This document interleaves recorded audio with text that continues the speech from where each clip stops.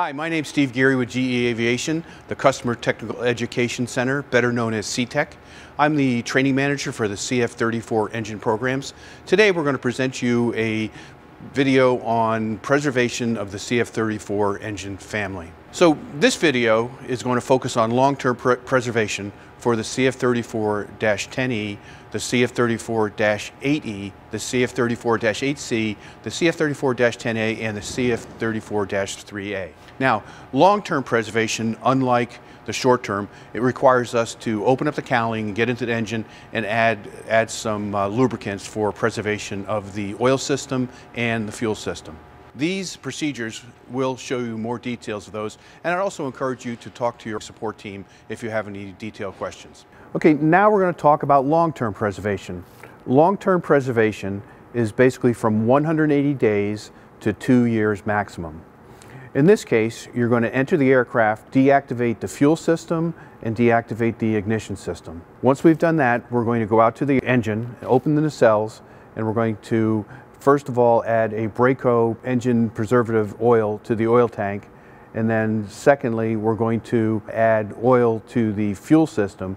Both of those will be for preserving A, the oil system, and then B, preserving the fuel system. Once we've done that, we're going to close the cell up and then go to the outside and then we'll do the same preservation as we did on the short term. For the long term, we also want to make sure that we record in the logbook exactly when it's done because it's very critical that if you're going to redo this, which you're allowed to do as many times as you want, that you make sure that you do it prior to the expiration of the two-year date.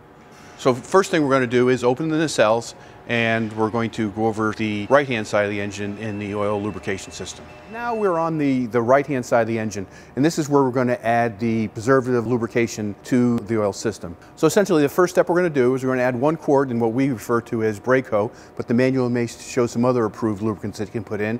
Essentially what we're going to do is we're going to go in and open up the cap, look inside, make sure there's no foreign objects in there, and then we'll just go ahead and add the Brayco and close it back up. One other thing here, anytime you're doing preservation, and also when you're doing short-term preservation, you want to take a look at the level in the oil tank, because for both short-term and long-term, you want to make sure that the oil is at a serviceable limit before you do anything. So once we've closed up the oil tank and have the Brayco in there, we're going to uh, go over to the left side of the engine where I'll show you how you crank it to circulate the oil through the system. Before we start cranking the engine, you have to make sure that in the aircraft that you've deactivated the fuel system and also de-energized the igniter by pulling the breaker. When you come over to the right side, you want to look at the starter and just like the oil tank, you want to make sure that it is also at a serviceable level. There's two ways to crank the air starter. One, if your APU is still available, you can go ahead and crank it for the five minutes using the APU. If not, use a ground support air supply cart to turn that. And once you do that, you simply go to the starter air valve using the override and basically crank and let the air run through that. Basically for the oil system preservation, you basically just run that for five minutes. Once we finish that, we're now going to go to the preservation of the fuel system. So on the aft side of the gearbox, you can see the main fuel pump. And so what we're going to do here is first disconnect the main fuel hose up at the pylon. And you'll see there that there's a, uh, there's a quick disconnect there, which also is a secondary to assure that no fuel gets into the compartment. The second thing we're going to do is disconnect at the other end, it's a four bolt flange on the fuel pump itself. What you're going to need there is, if you look at the maintenance manuals, there's a special kit which will adapt to that, which will allow you to put the 3.5 gallons of the corrosion preventative oil in there. Now, once you have that connected and you start inducing the uh, oil, you're going to, again, crank the starter. Like I said before, APU, or if you have to use a ground cart, you will do that. Now, there is no time limit on this, so you want to be cautious to make sure that you're staying within the cycle limits of the starter and not exceeding the, the crank time.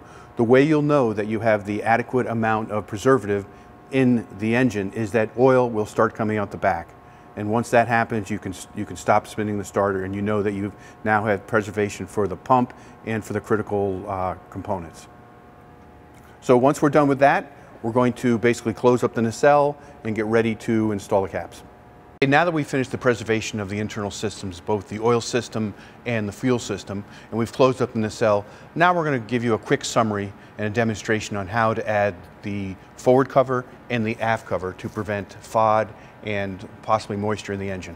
Once we've taken care of everything under the nacelle, as far as capping and covering any openings, then we're going to deal with covering the inlet. And the main purpose for covering the inlet is to protect against possible FOD from entering in through the fan and damaging the blades, or also going into the core of the engine where you could actually get FOD into the turbine. The secondary thing is to eliminate the amount of moisture that could gather in the inlet. One area of real concern is back at the abradable material near the fan. If that gets water on it, it could expand, causing excessive rub on the blades when you first start the engine. So once we cover the engine, which we'll show you some more detail later, we're going to go to the aft end and show you how we cover that.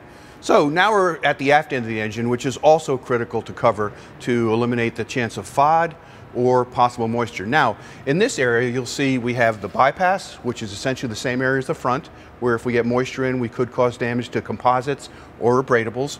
And then we have the vent from the core compartment, which is very, very small. And again, FOD does include possible rodents or insects, and as you know, this would be a great place for beehives, which has happened in some cases. Uh, number three, we have the actual engine, which is uh, going in here to the LPT area, where if rodents or FOD got into there and got into the actual turbine, could then cause some real serious issues when you start the engine up. And finally, you have the aft vent area, where you could have issues with moisture getting in here, or again, rodents, and if they got in there, they could possibly get into the sump areas where you could possibly end up getting uh, damage to bearings and some of the internal workings of the engine. So what we're going to want to show you is how we're going to cover this entire area and tightly seal it just like we did to the front. So here's an example of a fuselage mounted engine. This is typical of the CF34-8C, the CF34-10A, and the CF34-3.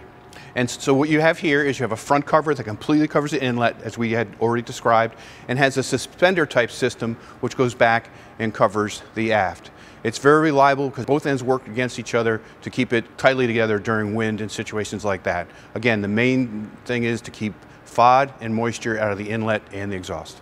So what we have here is a typical under the wing high bypass engine. This is actually one of our GE90. As you can see in the front of the engine, we have ground support equipment cover with the suspender type straps going back and covering the complete exhaust system. This covers the bypass, this covers the engine exhaust, and this covers the center vent tube, which is very important. Now also in this picture, you can see some singularities such as vents, for instance, looks like the override hole and any other openings. On the CF34 engine, we have NACA scoops, we have some vents that you'll also want to walk around and inspect and possibly use some waterproof tape or something like that to cover those areas.